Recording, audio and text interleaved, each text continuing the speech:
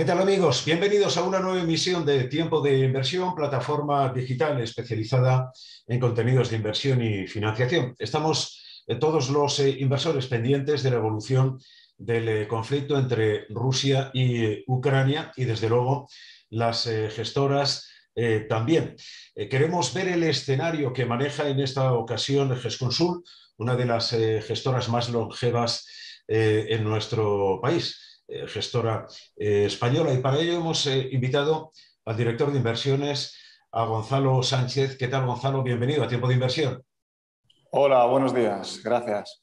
Momentos, en fin, muy complicados para tomar decisiones en el mundo financiero. En cualquier caso, y teniendo en cuenta la, rapidez con la que se han producido los acontecimientos, Gonzalo, ¿qué, escenario manejáis en este enfrentamiento eh, abierto entre Ucrania y Rusia. Un escenario de guerra largo, un escenario de guerra más eh, corto y qué implicaciones puede tener ese escenario para las decisiones de inversión. Pues efectivamente, ¿no? Ha ocurrido lo que casi nadie tenía en la agenda. Rusia avanzará no solamente por el territorio del Donbass, sino por toda Ucrania en ese sentido. La verdad es que en cuanto a la duración parece que es más o menos rápido, porque lo que han hecho ha sido una auténtica blitzkrieg, es decir, una auténtica guerra relámpago. Estaba muy bien orquestada, eh, en cuestión de horas se han puesto a las puertas de la capital, con lo cual yo creo que hay pocas dudas de que es, algo más o menos rápido, ¿no? más allá de los rescoldos que pueda haber después, pero eh, desde luego ya hay que tener en cuenta que se han quedado todo el territorio ucraniano y veremos a ver después qué hacen eh, poniendo un gobierno títere o cuál es la situación.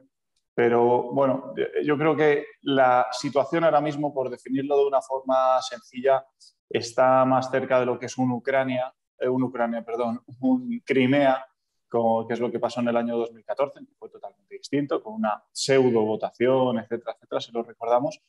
Eh, pero está más cerca de ese escenario que de, de una guerra mundial, por así decirlo. ¿no? Por lo cual, yo creo que los mercados poco a poco pues, se van haciendo a ello, ¿no? como en tantas otras ocasiones, cuando hay guerras, atentados, etcétera, pues se van haciendo a la situación. Yo creo que ayer ya eh, digirieron cuál era el nuevo escenario, que sin duda es sorpresivo, pero ya se han hecho a él y, poco a poco eh, iremos conviviendo con esta nueva normalidad. En el escenario que estáis eh, analizando en eh, GESConsul, ¿cuál sería el mayor riesgo para los eh, mercados financieros, Gonzalo? Pues sin duda el mayor riesgo conocido, ¿no? bien se sabe que el mayor riesgo es el que no se conoce en el momento actual, pero el mayor riesgo conocido es el que ya existía, ¿no? todo el tema de inflación y política monetaria por parte de los bancos centrales. ¿no?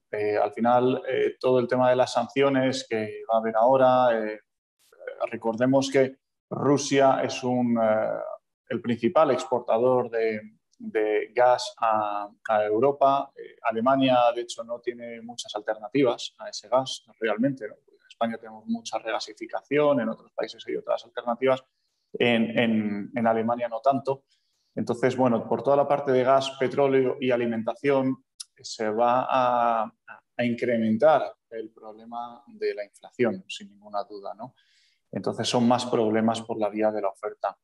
Eh, la cuestión es cómo van a actuar los bancos centrales, porque se ponen en una situación un poquito compleja en el sentido de que, eh, pues como comentó ayer el banquero austriaco, eh, dijo que, es de los más hawkish, por cierto, de los más proclives a subir los tipos de interés. Lo que vino a decir es que a lo mejor había que pausar toda la situación actual y seguir con las compras del quantitative easing. ¿no? El incremento de, balance. Entonces, en ese sentido, em, ponen al Banco Central en una situación comprometida, porque por un lado van a tener una inflación que va a seguir alimentándose de todos estos problemas energéticos y de alimentación, y por otro lado no quieren eh, destruir el crecimiento económico que ya se va a ver en parte afectado por eh, toda la situación con Rusia, las sanciones, etc. Eh, de ahí que sea el, principal problema, que, de hecho nunca se fue, porque siempre ha sido el telón de fondo y el principal problema a lo largo de todo este año. Digo que estamos viendo subidas de, em, volatilidad, pero subidas también en, la mayor parte de las eh, materias eh, primas. Em, ¿Crees que los bancos centrales al final se decidirán por ralentizar las subidas de tipos de interés previstas inicialmente, eh, por ejemplo, por parte de la Fed? Prácticamente el, consenso del mercado daba tres subidas en este ejercicio 2022 o que se va a decantar por unas eh, subidas más eh, agresivas. ¿Qué comportamiento eh, creéis que al final va a ser el que puedan adoptar los bancos centrales? Pues es difícil decir ahora mismo. El, mercado, de todas formas, en el caso de la Fed americana, estaba descontando ya hasta siete subidas, entre seis y media más o menos cuando lo miré la otra vez, aunque es verdad que era justo antes de, la invasión a, Ucrania, ahora habrá bajado algo.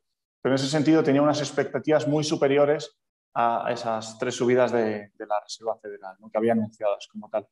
Entonces, bueno, eh, en ese sentido es, un poco pronto todavía para decir si va a afectar a la política monetaria eh, de manera inmediata, pero sí que es cierto que es bastante significativo que un halcón como el, consejero, eh, el banquero central de, Austria, ya se haya manifestado de primeras diciendo que hay que transmitir calma. Entonces, eh, desde luego, como mínimo, podemos decir que es algo que los bancos centrales tienen en la mente ahora mismo y podría haber una reacción coordinada en ese sentido. Todavía es un poco pronto, vamos a ver cómo transcurren los acontecimientos, pero es algo que está sobre la mesa, el que se relaje un poquito la situación monetaria. Em, eh, Gonzalo, en estos momentos tan convulsos, em, ¿es mejor esperar y ver o son momentos en los que eh, se presentan eh, oportunidades de, inversión? Pues yo creo que son momentos en los que es bueno aprovechar eh, oportunidades en compañías realmente buenas, en compañías que tienen unos fundamentales muy sólidos, que tienen una visibilidad operativa clara, que están cotizando a buenos niveles y estas situaciones, sin duda, eh, te las ponen a niveles mucho mejores en ese sentido. Entonces, desde ese punto de vista, yo creo que hay que aprovechar estas situaciones. Eh, de hecho, nosotros ayer es un poco lo que hicimos. En las carteras internacionales, pues aprovechamos para meter compañías que se habían quedado muy atrás y que dan oportunidades interesantes, como es el caso de Adidas o Prosus.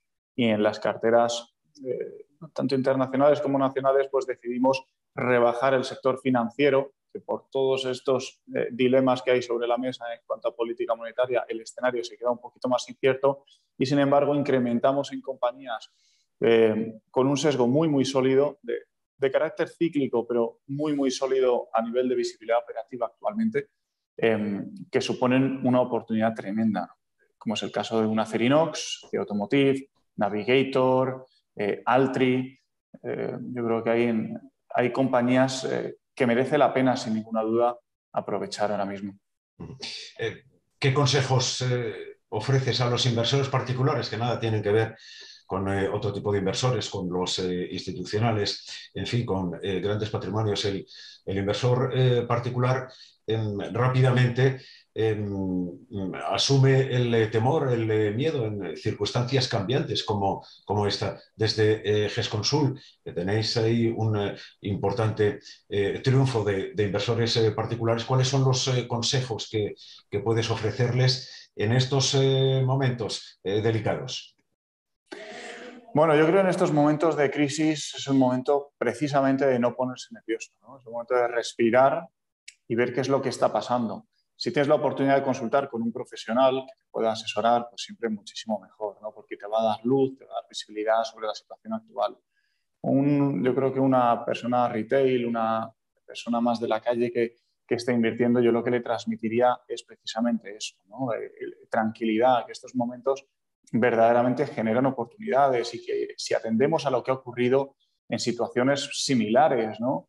Eh, guerras pasadas, eh, atentados terroristas pasados, situaciones eh, pues muy tristes y lamentables como han ocurrido en el pasado, provocan temor, provocan que haya gente que venda, que pierda mucho dinero en ese sentido y haya gente que haga mucho dinero. La diferencia entre unos y otros es que los primeros se ponen muy nerviosos y los otros han pensado, han pensado racional y fríamente la situación. Con lo cual, yo lo que le transmitiría a esa persona es que investigara cuáles son realmente esas compañías que merece la pena comprar en esos puntos clave, esas compañías de calidad, eh, con ventajas realmente competitivas en, su sector, con buenos nichos de negocio, que son líderes y que te están ofreciendo eh, unos rangos de valoración muy atractivos por estas situaciones, eh, o si no, que acudan a un profesional sin ninguna duda. Gonzalo Sánchez, director de inversiones de GESConsur, gracias por atender a tiempo de inversión, buen negocio y tendremos oportunidad y ocasión de analizar la evolución